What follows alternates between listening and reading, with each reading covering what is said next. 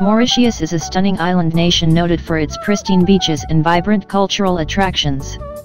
Here are some must-visit attractions in Mauritius. Mauritius is renowned for its beautiful beaches, and Flic en Flac is one of the most popular. It's a great spot for swimming, snorkeling, and enjoying water sports.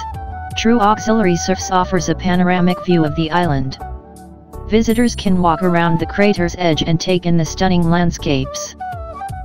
This park is home to various species of crocodiles, giant tortoises, and other exotic animals. It also features a nature reserve with lush vegetation. A sacred crater lake surrounded by temples, Grand Bassin is a significant pilgrimage site for the Hindu community in the country. The capital city offers a mix of modern and historic attractions. Visit the bustling central market, explore the Aapravasi Ghat, a UNESCO site. Also known as Sir Seewoosagur Ramgoolam Botanical Garden, this is one of the oldest botanical gardens in the southern hemisphere.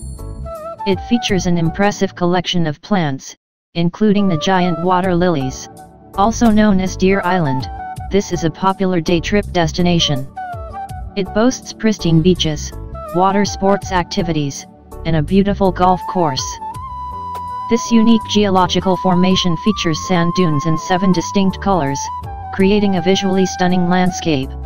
This national park is home to lush forests, rare bird species, and scenic hiking trails visitors can explore the natural beauty of Mauritius here.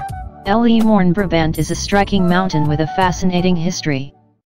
It's a UNESCO World Heritage Site and a popular hiking destination.